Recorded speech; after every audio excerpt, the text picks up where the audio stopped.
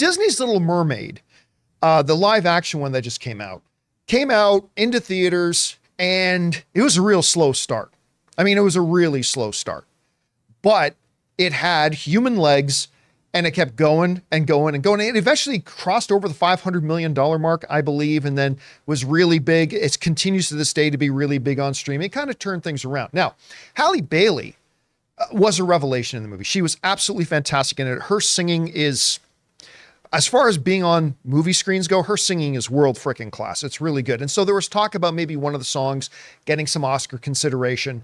Maybe. Well, there's a report that's been going around that you can find on a plethora of websites like this one that have been suggesting that Disney has pulled that song from consideration for the Oscars because they're saying because she's pregnant. And that is the topic of today's Mint Mobile hotline question of the day. Listen, if you guys have a topic or a question for our show and you'd like to hear your voice on it, go ahead and call our Mint Mobile hotline anytime 24 7 at 951 268 4259. And again, this is about the Little Mermaid stuff. Check it out. Hey, John, this is Tyler. I was just reading some news and I saw that Halle Bailey might be out of the running for Oscar chances for her song from the Dis- from the Disney movie Little Mermaid, and Disney has now decided to take her out of the running for being pregnant. And if this is true, which it looks like it is because a lot of newsstands are taking it. I'm about done with Disney, and it's very, very idiotic. Thank you for taking my question. Have a great day. All right, Tyler, thanks a lot for calling that in. Wow, there's so much to go over here. Um, okay, so first of all, I hadn't even heard of this until you mentioned it. And then so I went online say, is anybody saying it's all over the place? It's all over the place. That uh, let me rephrase. It's all over the place except for real news outlets. No real news outlets are talking about this. but basically, the gist of the report is that because Halle Bailey's pregnant, and by the way, I don't even know that there's any confirmation that she's pregnant, but because she's pregnant, Disney said pregnancy does not fit our corporate brand. How uncouth. We do not condone pregnancy and therefore, we would be embarrassed, these reports go, to have her on stage at the Oscars with the big plumpy belly. I mean, do you know what you have to do to get pregnant? yeah, don't you know what I have to do? Any- Birds, storks come flying through your window, according to Disney.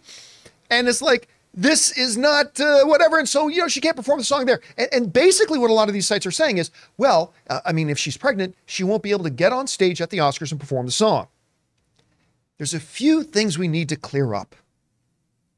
Number one, there is no legitimate news site claiming that this is the case. Number two, and this is one of the big misconceptions here there is no rule in the Academy that says if your song, the only way your song is allowed to be nominated is if the person who sang the song in the movie shows up to the Academy Awards and performs that song on stage. There is no such rule. The performer isn't even nominated in the category unless the performer is the person who actually wrote the song. Well, that's true. With, you know, uh, so Eminem, Eminem has his Academy Award, right? But Halle, this wouldn't even be Halle Bailey's award. She did not write the song. No, she's just a singer. She does. So, if for argument's sake, just so you know, if this song does get nominated at the Academy Awards, if it does, and it wins, Halle Bailey does not have an Oscar. It's not her song. It goes to the songwriters. That's who gets the award. At any rate, but even that being the case, you got to understand there is no such rule that people are making up that the performer has to be there. So look, whether or not Disney submits this particular song for consideration in the Oscars, and by the way, just because they submit for for consideration does not mean it'll get a nomination. That's up to the Academy to decide. But if for whatever reason Disney decides not to submit, to submit the song, I can guarantee you it has nothing to do with the possibility that the young lady who sang the song is pregnant because there is no such rule that she would have to be. I mean, we've seen many times at the Academy Awards where somebody else stands in and sings the song and stuff like it's, it's not a really big deal. Guys, we want to take a second to thank a sponsor of today's video, Mint Mobile. Signing your life away to a big wireless provider is kind of like being trapped on a roller coaster from hell. Sure, it looks like fun at first. They probably even threw in a free phone, but now you can't get off. Month after month of insane bills and unexpected thrills, uh, like overages and surprise fees. If that sounds like your current big wireless plan, it's time to get off the ride with Mint Mobile. For a limited time, wireless plans from Mint Mobile are just $15 a month. That's unlimited talk, text, and data for just 15 bucks a month. You guys know before I came to Mint Mobile, I was paying triple what I am paying now on the standard big wireless plan, and I will never go back. All plans come with unlimited talk, text, and high speed data delivered on the nation's largest 5G network. Use your own phone with any Mint Mobile plan and bring your phone number along with all your existing contacts. To get your new unlimited wireless plan for just 15 bucks a month and get the plan shipped right to your door for free, go to mintmobile.com slash Campea. That's mintmobile.com slash Campea. Cut your wireless bill to just 15 bucks a month at mintmobile.com slash Campea. Anyway, Rob, you heard about this report. What is your response to this? First of all, Halle Bailey, can I just say, did a fantastic job in this movie. I caught up with it finally. Um, you know, I can understand everybody's objections or whatever. I think the movie was too long. but other than that, I thought she was fantastic as Ariel and she made a great mermaid. And her singing voice is angelic and she did a fine job.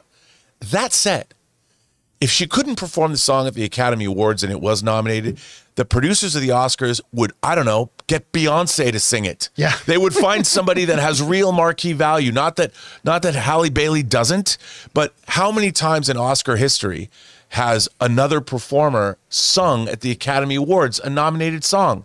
I'll tell you, a lot. This is the dumbest kind of news that gets picked up and that people believe it. It it's this knee-jerk weird reaction that uh, we all no one is more of a proponent than checking your sources than you are. You have always said, check the source. Check the source. What is the source? Um, like you said, there's no legitimate news outlets. And you know what I really object to about this? Let's say she is pregnant. Let's be happy for her and hope she has uh, a very happy, healthy baby and that they get to grow old together as as mother and daughter or mother and son or whomever. And and why not leave it at that?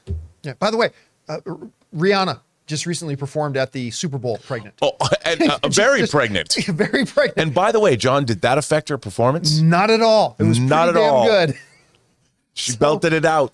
Uh, anyway, there's that. Uh, you know, and, and so some people might want to ask, well, well, like, if this isn't true, why cover it? We'll cover it because so it's being reported all over the place.